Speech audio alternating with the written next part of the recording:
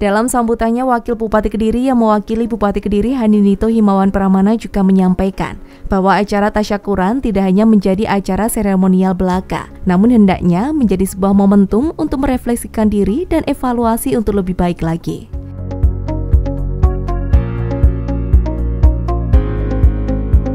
Saya mengucapkan terima kasih yang sebesar-besarnya kepada panitia penyelenggara yang telah bekerja dengan maksimal dalam mempersiapkan pelaksanaan peringatan HUT Proklamasi Kemerdekaan Republik Indonesia ke-77 tahun 2022 Kabupaten Kediri mulai dari persiapan awal sampai dengan pelaksanaan tasyakuran pada hari ini.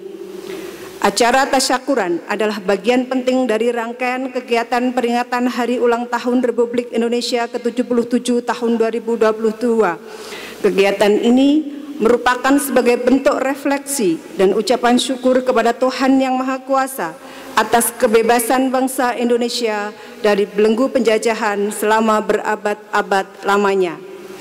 Acara tasyakuran ini tidak hanya menjadi kegiatan seremonial belaka, namun hendaknya ini menjadi momentum untuk merefleksikan diri dan mengevaluasi jalannya kinerja pemerintahan dan bagi masyarakat Kabupaten Kediri agar senantiasa memberikan dukungan, partisipasi sekaligus memberikan koreksi dan kritik yang membangun untuk pelaksanaan pembangunan daerah di bumi Panjalu yang kita cintai ini.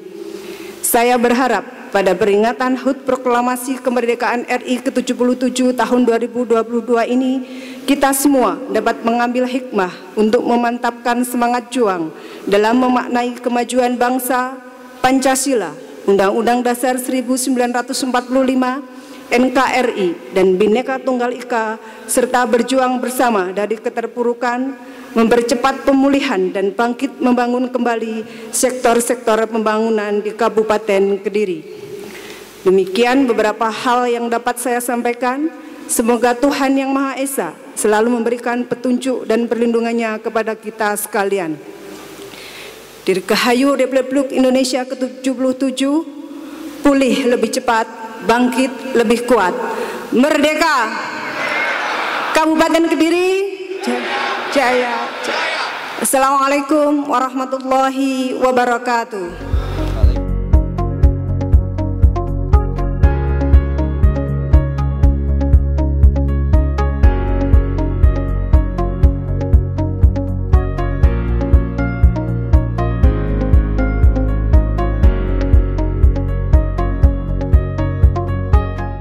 Pemirsa acara tasyakuran yang digelar berjalan dengan lancar dan meriah. Seluruh tamu undangan tanpa mengobarkan semangat 45 untuk bangkit lagi menghadapi kehidupan selanjutnya menuju masyarakat makmur Indonesia sejahtera.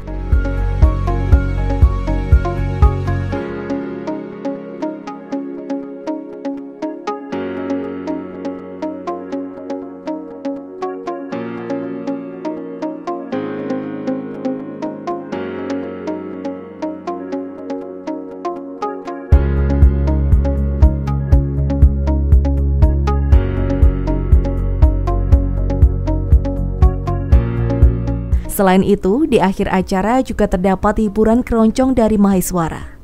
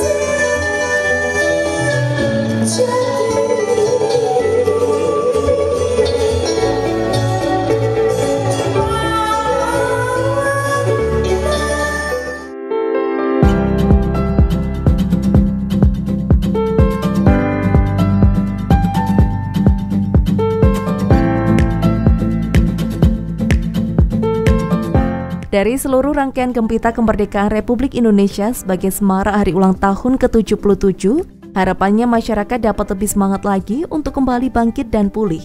Selalu optimis untuk memberikan yang terbaik kepada negeri.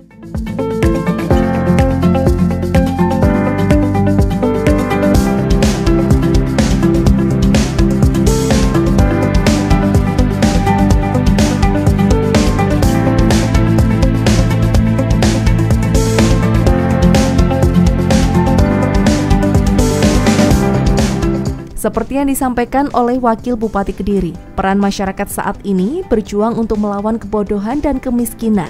Jadi terus berupaya untuk memerangi itu semua dan wujudkan kemerdekaan.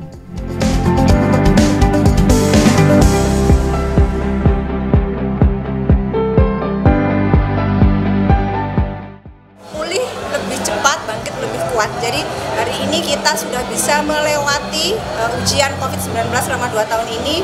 Saatnya kita pulih lebih cepat. Jadi bagaimana kita bisa uh, lebih cepat mengisi kesempatan-kesempatan yang saat ini diberikan kepada kita dengan memberikan banyak hal-hal positif dalam kehidupan kita sehari-hari terutama ini baik dari ekonomi, sosial, politik banyak sekali yang bisa kita kerjakan yaitu mem, apa ya memerangi perang kita hari ini bukan dengan penjajah tapi dengan memerangi kebodohan, kemiskinan, ketidakadilan itu yang kita laksanakan ini. Nanti juga Mas Bu memberikan uh, listrik di sebuah kampung kecamatan Ngancar kan karena dia belum dapat listrik artinya ini dapat bisa dialami listrik itu adalah bagian dari uh, mengurangi apa bebas dari kemiskinan. Dengan tergelarnya acara ini, ke depannya negara Indonesia dapat lebih baik lagi sesuai dengan tema yang diusung, yakni pulih lebih cepat, bangkit lebih kuat. Bersama-sama mari mewujudkannya selamat hari ulang tahun Republik Indonesia ke-77. Saya Elva Fitria, terima kasih atas kebersamaan Anda. Sampai jumpa dan salam CTV.